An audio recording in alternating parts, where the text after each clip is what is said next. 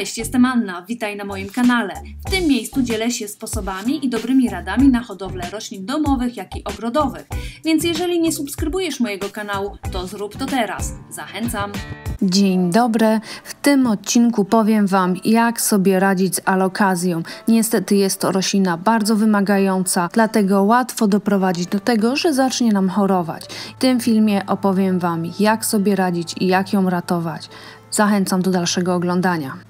W okresie zimowym często bywa tak, że nasze alokazje chorują i jest to spowodowane głównie nieodpowiednią wilgotnością powietrza. Kolejnym czynnikiem jest zła temperatura. Alokazja rośnie w warunkach szklarniowych. Gdy spada nam temperatura w mieszkaniu poniżej 18 stopni, jest to stres dla rośliny i ona jest wtedy podatna na choroby. Do tego dochodzi światło.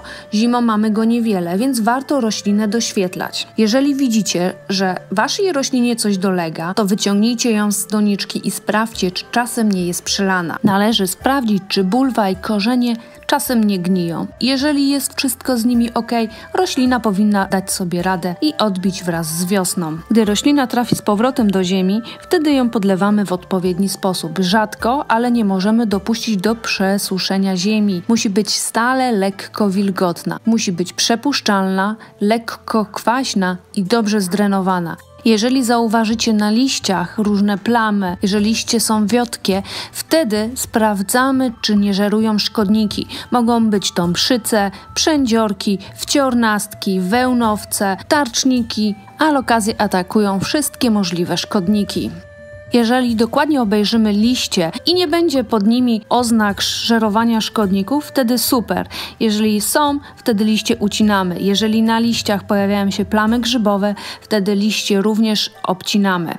Następnie wykonujemy oprysk na grzyba czy to na szkodnika w zależności od potrzeby. Należy również podlać ziemię wodą z opryskiem, by zlikwidować choroby oraz szkodniki żerujące w ziemi. Do doniczki wrzucam pałeczki z mikoryzą, która wzmacnia roślinę, powoduje to, że pochłania więcej składników odżywczych oraz wody z ziemi i dodatkowo odstrasza ziemiórki, których larwy mogą podgryzać korzenie i powoli zabijać naszą roślinę. Następnie dbam o to, by roślinę podlewać wodą przygotowaną lub deszczówką i do tego dodaję nawóz, połowę zalecanej dawki przez producenta i robię to raz na dwa tygodnie. Roślinę przestawiam w ciepłe i widne miejsce. Ustawiam na kamieniach z wodą. Warto jednak na czas zimy zaopatrzyć się w zamgławiacze czy nawilżacze powietrza. I następnie roślinę codziennie obserwuję. Jak widzicie, ucięłam schorowane liście, ale już pojawia się kolejny młody. Więc słuchajcie, bardzo ważne są te czynniki, o których Wam wspominałam, czyli wilgotność powietrza, temperatura oraz światło. Warto roślinę zamgławiać przez zimę oraz doświetlać. Zwracajcie uwagę, jaką wodą podlewacie,